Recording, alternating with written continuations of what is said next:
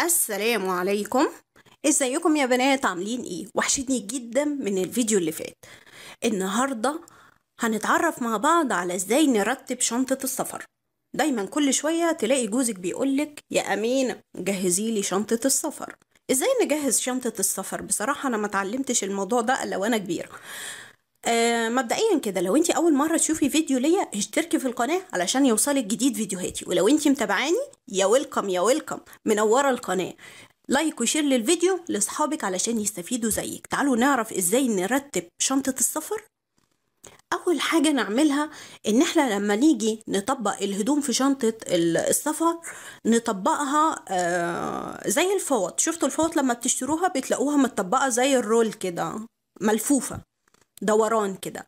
ده بيخلي شنطة السفر ما يعني الحاجات مترتبة فيها بشكل منظم وكمان ما بتاخدش مكان وبتوفر لك مساحة أكبر إن أنتي تحطي حاجات أكتر. تاني حاجة إن إحنا نستخدم آه الكياس اللي هي بتفرغ الهواء. آه الكياس دي بنعبي فيها آه الملابس اللي إحنا خايفين عليها مثلا أو حاجات حابين نحطها في أكياس. فالكياس اللي بتفرغ الهواء دي كويسة جدا وبتوفر مساحة برضو في الشنطة. آه، تالت حاجة إن إحنا نطبق الملابس بشكل هرمي. يعني إيه بشكل هرمي؟ يعني نحط الأول الحاجات التقيلة من تحت زي الجواكت البدل البناطيل. بعد كده نبدأ بالتيشيرتات. بعد كده آه، الفانيلات الحاجات الأخف. يعني بنحط الحاجات التقيلة من تحت وبعد كده الحاجات الأخف من فوق. وهو ده الشكل الهرمي اللي أنا أقصده. تالت حاجة لو أنت مسافر بلد مثلا بيبقى فيها برد الدول الأجنبية مثلا طبعا الواحد بيبقى محتاج معاه شمسية. طب ليه ناخد شمسية لما ممكن ناخد جاكيت معانا اللي هو waterproof ال waterproof اللي هو الجاكيت الخاص بالمطر. ده بيكون أوفر لينا بدل ما ناخد معانا شمسية.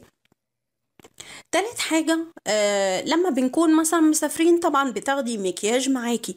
طب ليه تاخدي علب المكياج الكبيرة؟ ما انت ممكن تاخدي علب مكياج صغيرة علشان ما تاخدش مكان في الشنطة وتحطيها في شنطة المكياج بتاعتك بحيث إنها ما تاخدش مكان في الشنطة. يبقى ناخد الحاجات اللي لازمانا من المكياج أو مستلزمات التجميل ونحطها في شنطة صغيرة. بعد كده برضو عندنا يعني من الحاجات اللي بناخدها طبعا المشاط الجزم التوك الحاجات دي ممكن نحطها في أكياس ونحطها في الشنطة عشان برضو ما تكركبش الدنيا وما تبهدلش المكان وما تاخدش مكان كبير.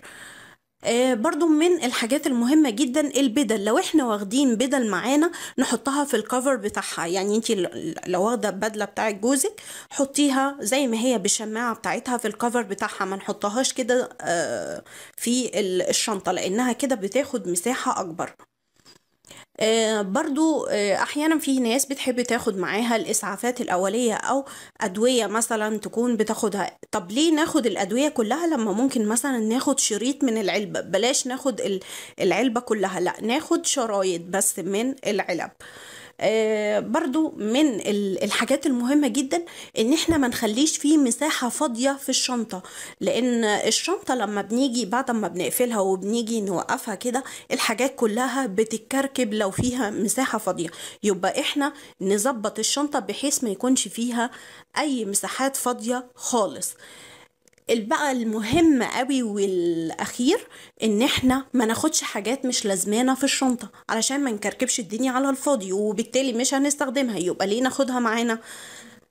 هو ده طريقة تجهيز الشنطة. ودلوقتي يا أمينة تقدري تحضري الشنطة لجوزك قبل ما يسافر. أتمنى أن يكون الفيديو عجبكم وقابلكم إن شاء الله في فيديو جديد من فيديوهاتي. والسلام عليكم ورحمة الله وبركاته.